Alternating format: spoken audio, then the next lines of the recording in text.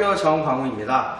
아, 오늘은 색소폰 소리는 호흡과 압력으로 결정이 된다 라는 강의를 어, 해보도록 할 건데요. 이게 무슨 말인지 전혀 이해가 안 되시죠? 전혀 이해가 안 되실 거예요. 어, 제가 아주 편안하게 강의를 좀 한번 해보도록 할게요. 자, 색소폰 소리가 나려면 뭐가 필요하죠? 호흡. 그쵸? 그럼 호흡. 그럼 압력은 뭐야, 압력은? 그죠? 사람들이 생각하면 그냥 이렇게 소리를 내면 그게 그냥 전부다 라고 생각을 하시는데 자 잘 보세요 자 이제부터 이해가 안 되셔도 이해가 안 되실 수도 있고 이해가 되실 수도 있는데 최대한 이해가 되시도록 제가 여러 번 말씀드리도록 하겠습니다 자 우리가 자 색소폰 소리를 내기 위해서 뭘 내? 호흡을 내죠 호흡은 뭐예요? 나오는 이 바람을 호흡이라고 합니다 아시겠죠? 그러면 압력은 뭐냐면 시작했을 때 이 호흡이 나가는 이 힘을 압력이라고 하는 거예요.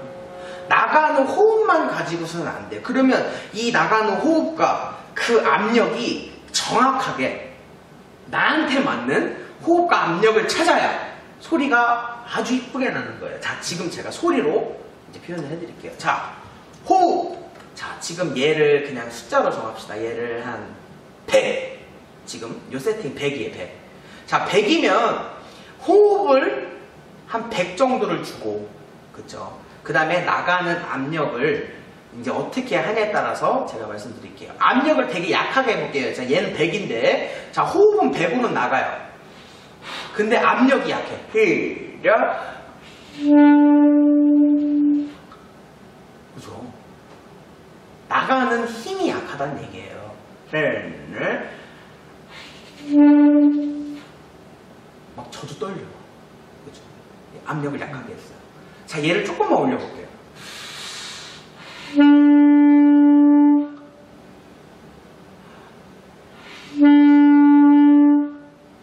얘한테 지금 제일 좋은 소리는 100에 50이 지금 딱 좋은 것 같아요.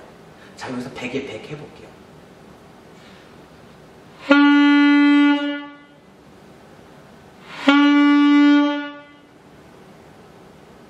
괜찮은 것 같아요. 그죠? 100까지는. 50에서 100까지는 괜찮아. 근데 대부분은 얘가 100인데 200을 넘겨요.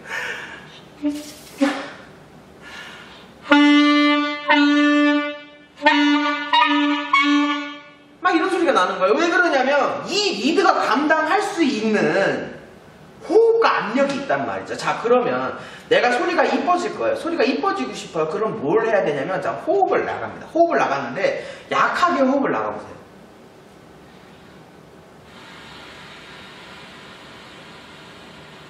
호흡만 가지고도 소리는 안 나요. 호흡만 가지고, 호흡 나가는 것만 가지고. 무조건 압력이 필요한 건데, 지금부터 제가 말씀드리는 건 뭐냐면, 자, 호흡은 이해가 되셨어요. 그쵸? 지금 나가는 이런 것들은 호흡이라 그래요. 이해되시죠? 자, 여기에서 압력이 들어가면 소리가 들리는 거예요. 아주, 한, 한 2, 3 정도 넣을게요. 2, 3 정도.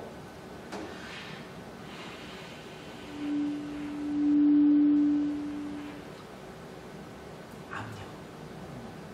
조금만 더 넣을게요.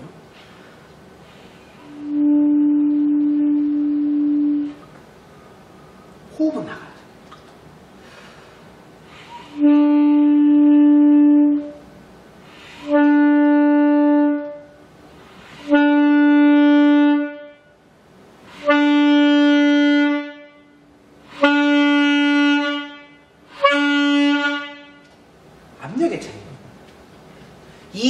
이 호흡과 압력을 찾는 것은 어떻게 해야 되냐? 그러면 방법이 뭡니까?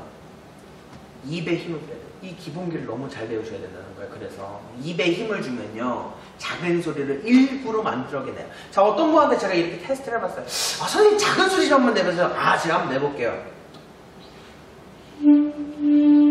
이거는 작은 소리가 아니고요. 쥐어 짜는 소리죠. 네. 이해가 되세요? 작은 소리는요 호흡과 압력을 가지고 컨트롤 해줄 수 있어야 돼요. 그래서 저 같은 경우는 집에서도 연습이 됩니다.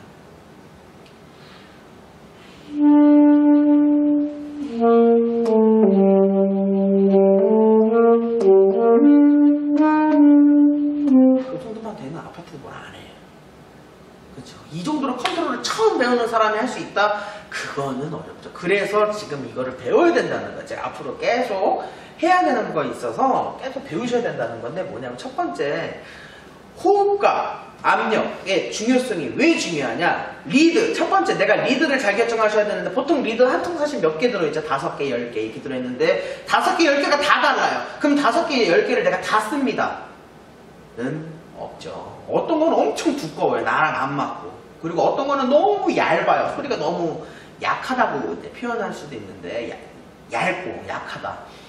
그러면 버려요 그런 것들은. 저도 버리거든요. 근데 그 중에 나한테 맞는 리드가 있어요. 그러니까 우리 색소폰 같은 경우는 악기만 갖고서는 절대 되지 않고 리드 계속 나가죠. 그쵸? 이 리드 가격이 뭐 싸면 뭐 2만 몇천 원에서 3, 4만 원 막 이상 그렇게 되는 건데 그 컨트롤만 잘하면 된다는 거죠. 그래서 나 저 같은 경우는 나한테 맞는 리드만 써요.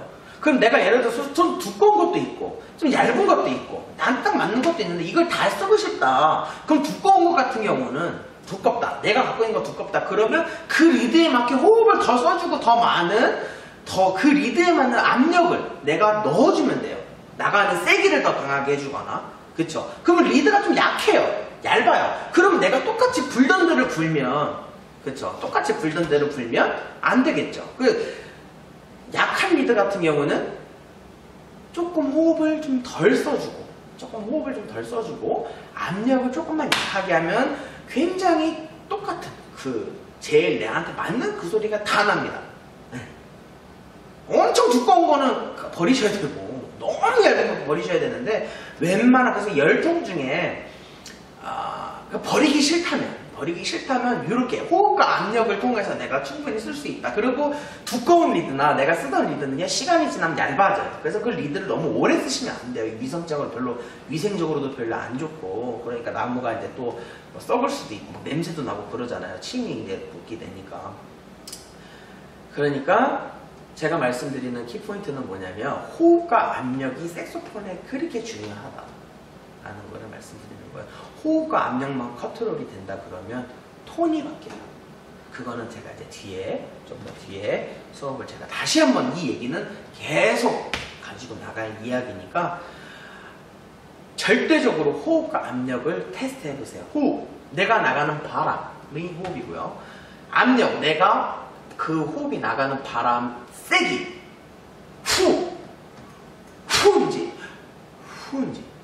그쵸. 나가는 이 힘. 이걸 압력이라고 하거든요. 네, 이 압력. 정말 중요합니다. 그래서 생소폰 부실 때 호흡과 압력에 대해서 정말 열심히 연습을 하셔가지고 좋은 효리를 얻도록 도와드리도록 하겠습니다. 궁금하신 거는 어, 댓글에 달아주시면 될 것 같습니다. 네, 감사합니다.